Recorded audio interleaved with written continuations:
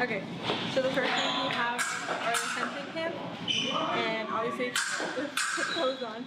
Uh, the next thing for female hunters is to have a chest protector, um, just so it's more safe.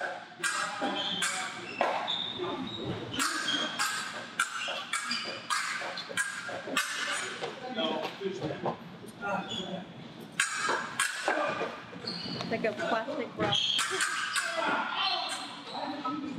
and then the next thing is a white jacket. And this material is made out of Kevlar, so it's like bulletproof. It's really thick, so that's why it, you know it has to be certified, so it doesn't go through.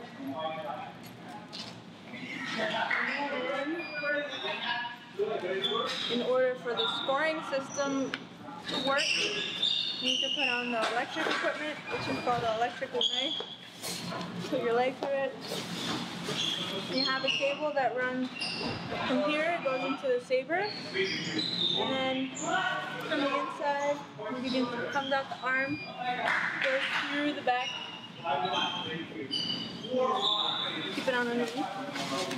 And then you have one that connects to the jacket. And then this part connects into the machine. So then when I hit someone, it completes the circuit and a light will go off and I get a touch.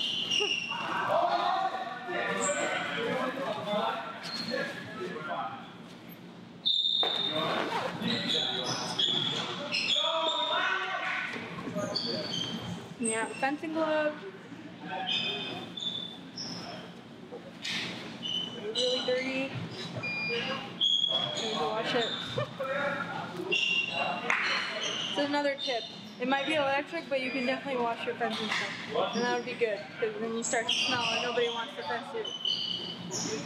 And then this part that comes out of the arm, it's where you connect it into the saber. And then you have one piece. In order for there to be a connection from the jacket to the mask, you have this that attaches. Can't find it.